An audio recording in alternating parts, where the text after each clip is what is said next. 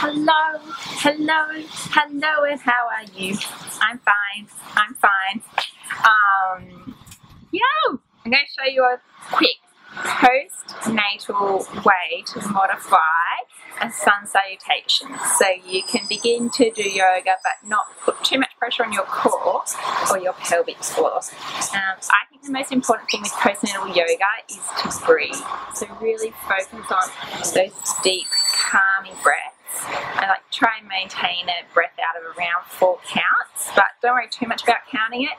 Just feel like you're controlling the exhale out and really trying to find that calm spot within. Okay so coming to the top of our mat ground down through all four corners of your feet. So you might want to lift your toes and then place them back down nice and wide lift your inner arches of your feet and feel like drawing up through your thighs and then a slight tuck of your tailbone and just see how that helps you engage your core. Shoulder blades down and back and hands to heart. Big breath in. Exhale, let it go. Inhale, hands float to the sky. Forward fold as you breathe out. Hands through heart. Keep your knees as bent as you need.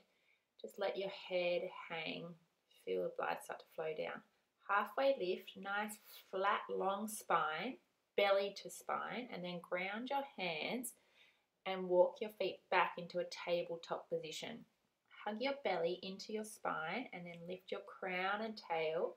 Big arch through your back. Breathe in, round through your back and breathe out. Feel everything start to ground down. Inhale, lift everything up round as you exhale. Inhale and return to a neutral spine. Drop chest and chin to the mat and then slide your knees back so you're lying on your belly. Wrists stacking under our elbows. Draw your shoulder blades down your back and lift your chest, baby cobra. Exhale, release.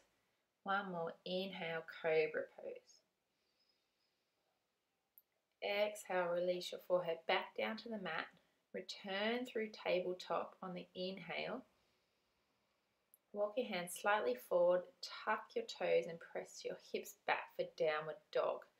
So just bend your knees as much as you need. My knees are super bent here and try and lengthen your spine all the way up. Really ground down through your fingertips and then press Maybe start to straighten your legs, leave them a little bit bent if you, that feels comfortable. Feels comfortable for me today. Big breath in, breath out. One more breath in. Look forward and walk your feet to your hands. Halfway lift, long spine. Draw your belly in towards your spine. Forward fold as you breathe out. Inhale, rise up to Tadasana.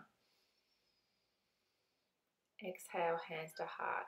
We'll go through one more time with flow, matching movement to breath. Forward fold as you breathe out. Halfway lift, breath in. Step back into a tabletop position. Inhale, cow pose. Exhale, round through your spine to cat. Breath in, lift your gaze, lift your tail. Breath out as you round everything down. Inhale, look forward. Sink your chest and your chin to the mat.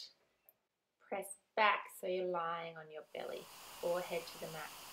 Inhale, cobra pose. Exhale, release. Inhale, draw belly to spine, roll shoulder blades down your back. Heart lifts exhale, release. Tuck your toes, press back into tabletop position. Walk your hands slightly forward. Send your hips higher for downward facing dog. Two breaths here. Really connect to your breath.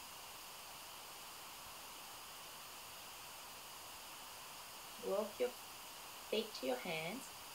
Halfway lift, breath in. Forward fold as you breathe out.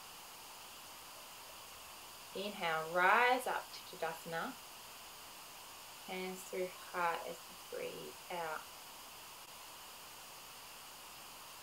Put your hands at your heart and really try and feel that calm,